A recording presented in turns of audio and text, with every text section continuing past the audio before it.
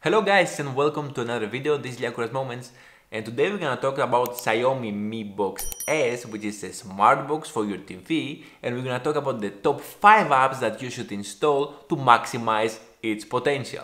In the previous video we unboxed it and we made a full review so if you wanna see that video it's gonna be in the description below so you can find it easy. So as it seems it was one of the best options to purchase and I'm very happy from its performance and I'm using it mostly with YouTube and Netflix. So let's see beyond that famous apps like Netflix and Amazon Prime to see what the best apps out there that you can get from Google Play and also for free. The first thing that you'll notice when using the Mi Box S is that you cannot access your flash drive. No matter where you go to the settings, there is nowhere in options to see your files. There is a notification popping up to tap to set up your USB drive and when you click browse after there is no way to see inside. You can just eject or set up as device storage. So the first application that most users will appreciate and if you wanna watch movies from the flash drive sometimes it's a necessary app, it's the VLC player. To find it you go to Google Play, type VLC player and install it. Once installed allow access to your files, put the pen drive back and it will ask you to use it to your media library. Click yes and now with VLC player you can play your movies, listen to your music and watch your photos that you have on your pen drive.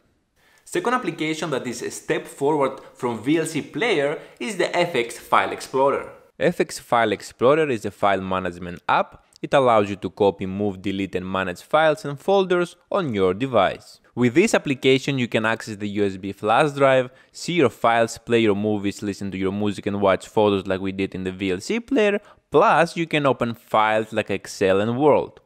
You can also share files directly between two devices that run in FX application.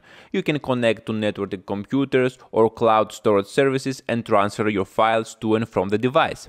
At the end is a very good management app necessary to every user. Third application that many users will find it interesting is the A Power Mirror. This application will allow you to mirror your Android phone screen to your TV with the Mi Box S. And not only apps like Netflix or YouTube that you can do anyway with Chromecast. This is mirroring so you will see on the TV exactly what you see on your phone. To download it, go to Google Play Store and type ApowerMirror. Click install and do the same from your phone that you want to mirror. So download and install it on your phone as well. And this you can do it from any Android phone, tablet or PC. When you open the application, allow access and click to phone screen mirroring or you can even scan the barcode. In order for this to work, your phone and the Mi Box S have to be connected in the same Wi-Fi network. Click allow and tap to mirror. And here it is. Every move you make on the phone is mirroring on the TV. Let's go to the next application which is the ATV Launcher. Very good application if you wanna put side-loaded apps. Google Play Store puts some restrictions on what apps you can see and download. So with ATV Launcher you'll be able to see those apps when you install them. To find the app, you go again to Play Store, you type ATV Launcher and you install it. If you want more information on how to install side-loaded apps, let me know in the comment section below and subscribe to my channel so I can make that video.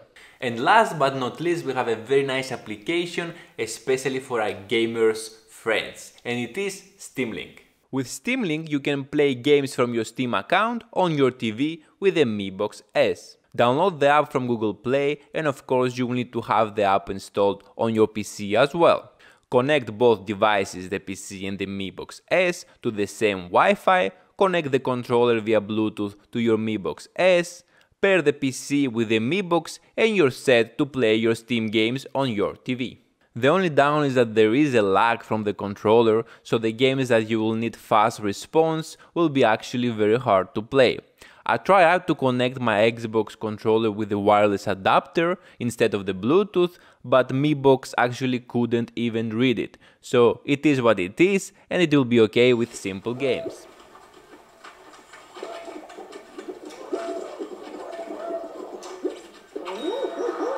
And there you go, you have 5 cool applications to use on your Mi Box. Let me know which one you like and if you have another application worth mentioning, you can write it down in the comment section below so we can all check it out. On the next video I'm gonna make 5 top games that you can play on your Mi Box, so make sure to like and subscribe and I'm gonna see you in the next video.